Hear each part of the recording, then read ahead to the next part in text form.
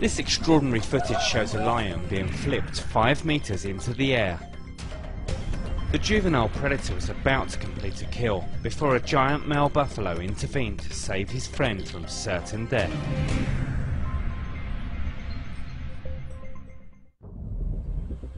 The hungry duo spent 45 minutes stalking their prey in the Kruger National Park, South Africa. But after bringing down the defenceless buffalo, one lion left itself open to a surprise attack.